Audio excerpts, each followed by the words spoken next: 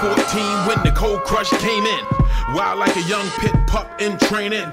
Studied every element of Jekyll and Hyde. It's Bumpy Knuckles, Freddie Foxxx, that's why I got two sides. I ride for them spitters like Dot-A-Rock and Whipper Whip, who helped me establish the swagger that I'm vicious with.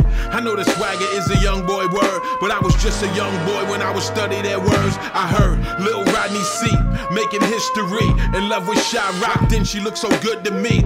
Afrika Bam kept me on my African bam. The war dance me, somebody about to fuck up the jam. Moe Dee was effective in my flow. I use a little bit of his growl, so you niggas know. T La Rock and Spoonie Gee developed me.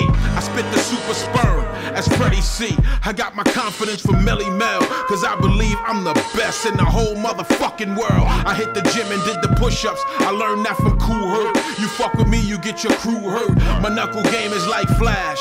I don't know if Flash is a fighter, but I thank him cause I'm super fast. Word, I put the beats on a nigga's ass. More lumps than a speech when it's super sad. Yup. The Sugarhill Gang helped me sweeten up my underground slang. Bark like KG from CC4. On these fake niggas that was CB4. I'm looking at niggas like, how could he be raw? He wasn't built from the bars of the Disco 4 or the fat of the Disco 3. Now y'all niggas know why I'm so nice on this MIC. Salute to the legends, baby. Word.